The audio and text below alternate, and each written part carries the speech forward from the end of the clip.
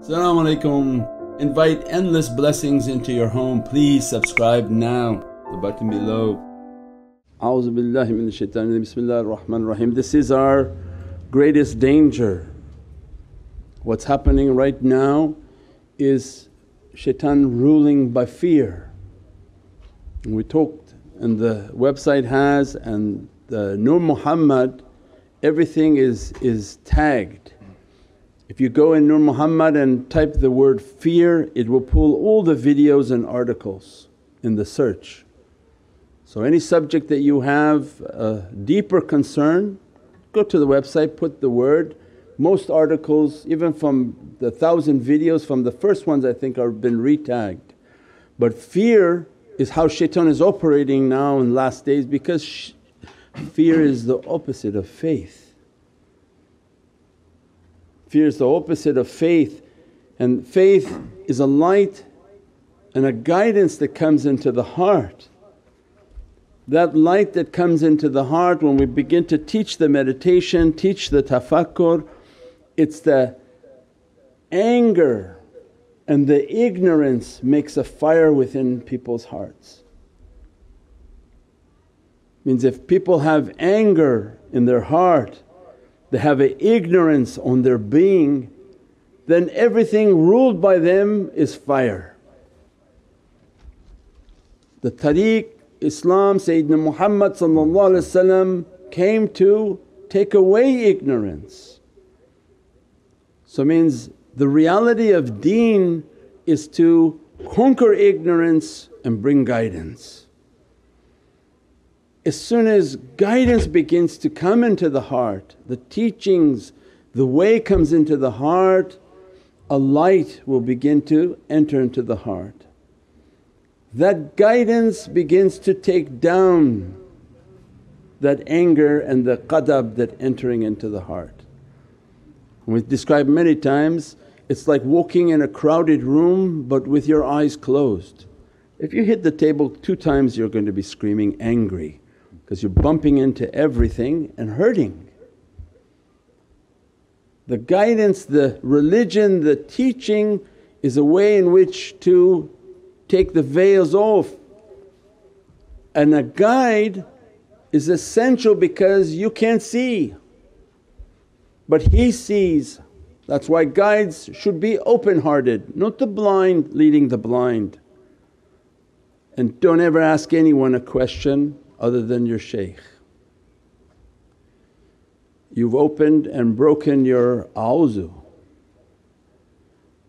that you ask somebody blind a question, it's the blind leading the blind and now the children and teenagers that's all they do.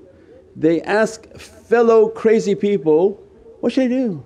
What should I do? What should I do with this? What should I do with that? How should I do like that? How should I do like that? Why would you open yourself to ask all of those things? Most of your friends are crazier than you and you want them to give you guidance? Imagine then what type of garbage people are collecting. They sit, they think they, that's a good thing. I'll ask my friend, well, what should I do? What should I do? What should I do? What should I do? One, you've lowered yourself, showed yourself as weak and put upon somebody else now the role of being a shaykh for you. You change your relationship, that's no longer a relationship of friendship that's a relationship of somebody always wanting to see you and tell you what to do. So tariqah comes and teaches, don't ever do that. Don't ask anyone anything other than your shaykh. So that you don't give the perspective or the point of being weak and that you don't want to have 15 opinions coming into your mind and becoming schizophrenic. Imagine schizophrenia is waswases. Some people have multiple personalities like five different waswases at a time talking to them.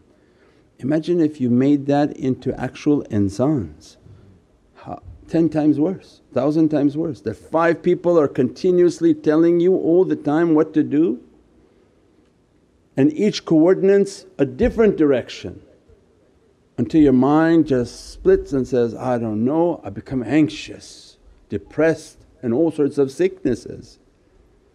Tariqah comes with the perfection of character, no you have to ask.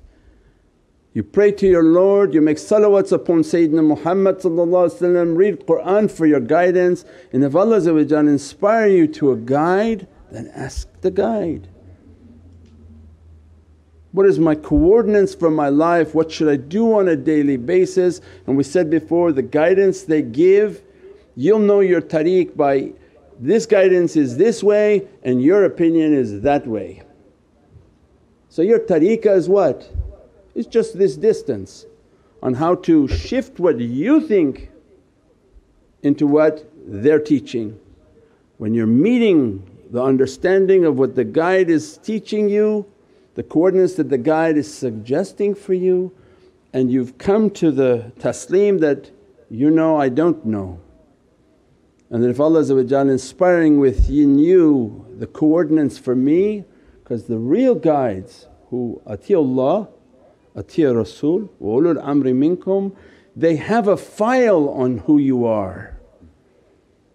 Like a doctor's clinic, now it's all electronic. You don't even have to… old times the doctor had to have your actual file, he had to actually fax it to somebody else. Now it's all electronic. You go into the doctor, he's been dedicated to you from your insurance company, you walk in, he knows, hello, how are you? Just tell me your date of birth. Oh, these are all the medications you're on. He already has everything there. You think if Allah did that for dunya, He doesn't have that for akhirah? Your electronic file is already flowing. You merely make the connection, that file is downloaded its guidance, its coordinates is already there. Every guidance they're giving is based on that file that's there to take you to that destination. And taslim, before you can submit is then to hear the coordinates and say, yeah I don't agree with you. Then your whole life is about how to bring it back, bring it back, bring it back until you feel that you feel and you think and you understand like he understands. And it's all based on the love of Sayyidina Muhammad not the, based on the love of that person, we're not making an idol out of a person. He's merely like a life coach. He should play an invisible role in your life. That you ask a question, he gives an answer and guidance, suggestions to you, never command. Nobody's capable of carrying any command. Gives a suggestion, I think like this. And your whole life is to chew on that and think that in my heart I should be trying to accomplish maybe closer to that. I want to conquer the earth and he's telling me to conquer myself. And that becomes the whole path and that whole reality. What's the question? How to remove fear. That's it. So means this light comes in, this guidance comes into the heart. When the guidance comes your eyes can see, I've seen the glory of my Lord it's coming down, it's coming down because you can see now. When you see you're not angry. What's there to be angry about? You know people on the street they're angry. Why? Because they don't see. If they could see that this is a time in which Allah said, this world is coming to an end and very holy people are coming. Why are you on the street screaming then? You should be in your house? Wow! SubhanAllah, Ya Rabbi let me to see these magnificent souls that look like they're going to be arriving really soon. But when they're ignorant they want to go and throw bricks and, and, and anger did you not understand last days where there would be no justice on earth and you're surprised that they're killing people? Because one man here he can't breathe, they killed 600,000 people. None of them could breathe when they were dying either. And they went another place and killed another million people and they didn't breathe either. You don't see what time this is? You're just surprised it's here now. The Muslim world has been suffering for the last 12 years like that. Been raped, killed, massacred. If you don't know the time then you become angered.